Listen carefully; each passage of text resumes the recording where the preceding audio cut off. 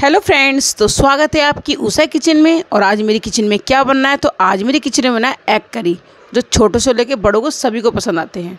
तो वीडियो को स्टार्ट करते हैं और वीडियो में अंत तक बने रहिए।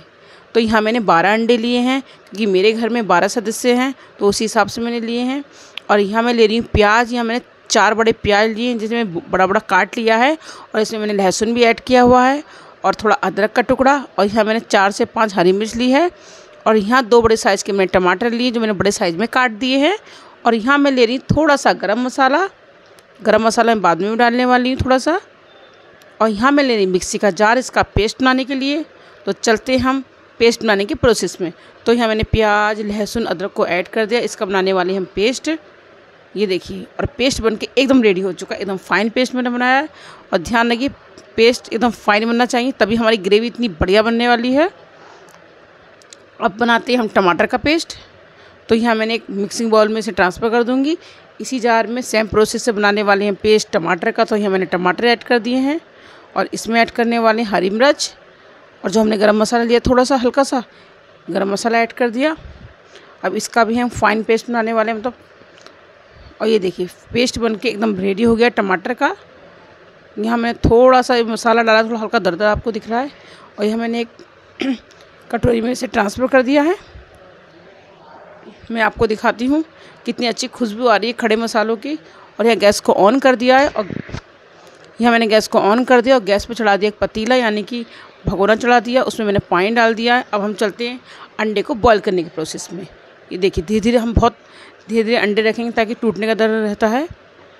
सब अंडों को मैं ट्रांसफ़र कर दूँगी। एक बड़े से पतीले में और यहाँ डालने वाली में हल्का सा नमक नमक से क्या होता है? अंडे आसानी से छिक्का उतर जाता है। मैं आपको बता दूँ। और यहाँ गैस की फ्लेम को मीडियम कर देंगे अंडे उबलने देंगे। और देखिए, अंडे उबल के एकदम रेडी हो चुके हैं। और मैं आपको एक पहचान बता दूँ, अंडे उबालने का, अंडे को निकालिए और घुमाइए। अगर अंडा बिल्कुल राउंड में घूम रहा है तो अंडा उबल चुका है। तो यहाँ मैंने सभी अंडे को बहुत अच्छे से छील लिया है और ये देखिए, बहुत अच्छे छिला है एक एक अंडा, साफ़ करके एकदम, बिल्कुल बढ़िया एकदम। तो यहाँ गैस पे मैंने कढ़ाई चढ़ा दी थी और तेल गर्म हो चुका है। तो यहाँ हम ऐड करने वाले तेज पत्ता और तेल की क्वान्टिटी थोड़े हम ज़्यादा रखेंगे। और यहाँ डालने वाले पेस्ट जो हमने पीस के रखा हुआ था, एकदम फाइन पेस्ट है और अच्छे से इसे भून लेंगे, बहुत अच्छे से। मैं आपको बता दूँ नॉन वेज या अंडे, पनीर, इसका मसाला बहुत अच्छे से भुना जाता है, तभी अच्छा स्वाद आता है। और ये देख कितना प्यारा कलर आया, एकदम बढ़िया मैंने ब्राउन भुना है, बढ़िया करके। और यहाँ ऐड करने वाले हम टमाटर का पेस्ट तो प्याज का पेस्ट तो हमारा एकदम भुन चुका है। ये देखिए ये हम कर देंगे टमाटर का पेस्ट और इसे डाल के और थोड़ा सा भून के अब हम करने वाले मसाले ऐड तो ये सभी मसाले हम ऐड करने वाले हैं। ये देखिए, बहुत अच्छे से भुन चुका है। तो यहाँ मैं ले रही लाल मिर्च पाउडर और यहाँ हम लेंगे हल्दी पाउडर और यहाँ हम लेंगे गरम मसाला। यहाँ मैंने हाफ़ स्पून लिया है क्योंकि मैंने पहले भी डाला था और यहाँ हम लेंगे किचन किंग का मसाला। और यहाँ हम ऐड करने वाले धनिया पाउडर वन स्पून और यहाँ हम थोड़ा सा पानी डाल के अच्छे से चला देंगे, ताकि सारे मसाले अच्छे से मिक्स हो जाएँ, बहुत अच्छे से. ये देखिए. और यहाँ हम डालें कश्मीरी लाल मिर्च पाउडर हल्का सा अच्छे कलर के लिए, उससे अच्छा बढ़िया सा कलर आए. तो यहाँ मैंने ग्रेवी को बहुत अच्छे से भून लिया था. अब इसी सेट पे ऐड करूँगी नमक और यहाँ मैं ऐड करूँगी धनिया पत्ता. अच्छे फ्लेवर अच्छी खुशबू के लिए. और अच्छे से मिक्स कर देंगे। यहाँ मैं ऐड करूँगी अंडे जो हमने भून के रखे हुए थे, यानी तल के रखे हुए थे। या मैंने बहुत हल्के भूने, अगर आप चाहें थोड़ा ज़्यादा भी भून सकते हैं। आपकी मर्ज़ी है।